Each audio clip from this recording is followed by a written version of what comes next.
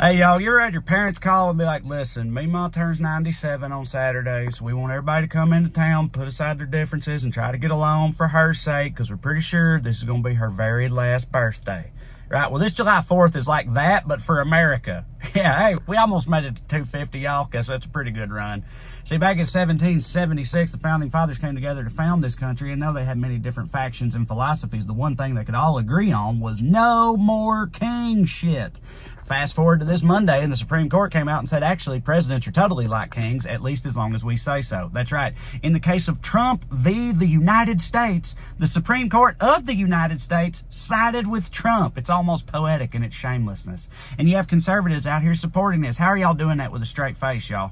Whatever, what happened to small government, freedom, liberty? You're okay with throwing those things away just to own the libs one last time? That's all right with you? But it is, say what you will, the left would not respond like that in a similar situation, right? If, if the Supreme Court was like, hey, y'all, we're going to abolish the whole First Amendment, here's why. See, now we can arrest papaws for calling vegans queer. Like, well, that part's funny, but there's some broader implications there that I'm not really comfortable with. But dude, they don't care. They don't, and we all know why. We all know they've only ever cared about those rights insofar as they applied to themselves. They don't care about the rights of others being suppressed. In fact, they love it, right? We all know the truth is and always has been democracy be damned. A dictator daddy is totally fine with them as long as he hates and hurts the same things as they do. Still, you'd think they'd be a little concerned about a president being empowered thusly, considering the current president is someone they believe is the head of an international crime syndicate. You're not at all worried about Biden using these powers, but they're not. And there's at least a couple different reasons for that. One, they're all just banking on Biden and the Democrats not exploiting this situation because of unfortunate traits like morals and integrity. And so far, they've been proven correct. Biden's already said he will not abuse these powers. Sometimes, sometimes the Democrats are like, if Batman was pathetic, you know, they're always like, we don't stoop to their level. This is what separates us from them. It's like, sure, but maybe if you threw the goddamn murder clown off a building, the rest of us could sleep at night. You know, sometimes it's justified to fight a little dirty, right? But the other reason they're not worried about it is because SCOTUS didn't really say presidents are immune. They said presidents are immune for official acts, but not for unofficial acts. And every one of us knows that that really means official acts are those performed by a Republican president, and unofficial acts are those that actually benefit the people of this fucking country. So yeah, it don't even really apply to Biden. But still, what are Biden and the Dems going to do? I don't know. I'm not in the room, but I'll tell you this, Democrats, going out there and banging on the old, it's up to you, the people. You got to vote. That's all we can do. Banging that drum ain't going to cut it this time. This needs something more than that. This is the culmination of a decades-long plot by them to usurp power in a country in which they're increasingly outnumbered, and the fruits of their nefarious labor are coming to bear before our very eyes right now. And what are you going to do about it? Where's your fucking plan? It's four months to midnight and the clock is ticking. Figure something out. All right. More in a second, YouTube. Let's take a look at how the media is covering this story. Yeah, we're here on Ground News' website. This video sponsor. You can see they've aggregated all the stories about how, quote, Trump hails Supreme Court immunity decision as a huge victory. Hard to argue with that. But anyway, you can see here they've got the the summary at the top, the coverage breakdown, a bunch of sources talking about this, many of which are in the center. You can see that in the handy dandy bias distribution. You see all this additional information you get from Ground News because that's what they do. Ground News is a startup and service that aims to combat bias in the media by adding context to the news that you consume. Right. Further information here, you see the headlines. They've got all the articles aggregated and separated by headline. Before you even click a headline, you get more information than you get anywhere else. You can see the rating of factuality, the bias of the outlet. See here, and you can also sort them by left, center, or right. And you can start to notice the difference in these headlines. So you sort by right, right? And it says U.S. Supreme Court decision, a victory for President Trump. See, subtle, still calling him president. Not exactly inaccurate, but you know, feels a little different. A robust SCOTUS decision on presidential immunity seems supportive, right? Well, if you go to the left leaning outlets, they talk about it a little differently. USA Today, the Supreme Court just did Biden a huge favor by giving Trump immunity. Here we see the head in the sand version of left bias. And then we talk, the other ones are about Biden criticizing them and you can just see how different outlets report on things differently. You get an added layer of context, but that's not all they got on ground news. One of my favorite features is the blind spot feature.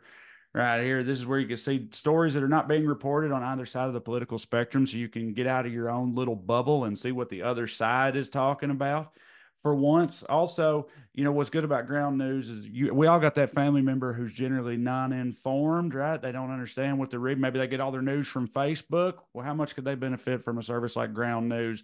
They get introduced into the media spectrum in a way that gives them context right out of the gate. Listen, and speaking of biases, you also can use ground news to check your own media bias, get some insight into the bubble that you're in, and see the breakdown of where you're getting your news from so you can be more introspective and insightful about the content and the news that you are consuming. Those are just some of the benefits you get from Ground News.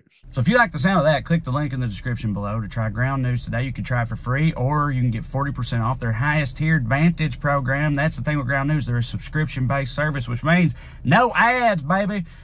Music to all of our ears, right? Listen, it's an election year and it's only getting, the stakes are only getting higher. So it's never been more important. Push back on the bias and the BS in the media. Try Ground News today. All right, YouTube, and we're back. Sorry, I got my red up. It's been a minute since I got my red that far up, but you know, it is feeling a bit apocalyptic out here recently. What is their plan? I don't know. They don't even know what they're going to do. Who the damn president, uh, the, uh, the candidate's going to be, right? They're talking now like Biden might, I don't know. There's rumors about it being Kamala. See, I, I got, I got people in the know. I don't really have people in the know, but some people who are kind of sort of in the know tell me they've heard rumblings that it might actually happen. Biden might actually step down or be replaced, which would be wild. But it's going to be Kamala. Everybody out there is like, no, no, no, it needs to be Gretchen Whitmer. It needs to be JB or Gavin or any of these people. It's like, they can't just do that because, see, she was on the ballot and other, like, smart reasons that I don't really understand. So it's going to be Kamala, and I'm not sure how I feel about that. First of all, she's a black woman, and people tend to hate that. Not me, but a lot of people. You know, that I mean, you know, Hillary was just a regular old white woman, and that was that got everybody riled way the hell up. You come out here with a woman of color having opinions and stuff, America's gonna fight back. But still, I'm for it, but she ain't going to appeal to the Gen Z types either on account of she's a cop and a pretty hardcore one. But hey, the upsides are Maya Rudolph's going to have a hell of a career surge. You know what I mean? She is kind of funny. Have you seen that clip of her like clapping for those Puerto Rican protesters because she didn't know that they were protesting her, and then she stops and makes and like makes a curb your enthusiasm face right when right when she's told what's actually happening. So at least you know we got some humor in the White House. I don't look. I at first I said Biden, there's no way he could step down. It's just not a feasible thing to do. It just isn't the type of thing that happens. But the further along we go and the, and, and the more papawy he seems to get, the more I'm convinced that he might have to. I'd prefer it be another candidate too. I have no problem with Kamala myself. I just want to win. And I didn't think she gave us a better chance over Biden, but I'm not so sure about that anymore. Plus, I can kind of see, I can kind of see Kamala use, abusing these powers and like maybe drone strike, drone striking Alito's car or something. I'm not saying while he's in it, you know, I mean, again, she's a cop. They do shit like that. They'll, you know, they'll beat they'll beat people up in the streets. They'll, you know, they abuse powers. They, it's like their number one thing.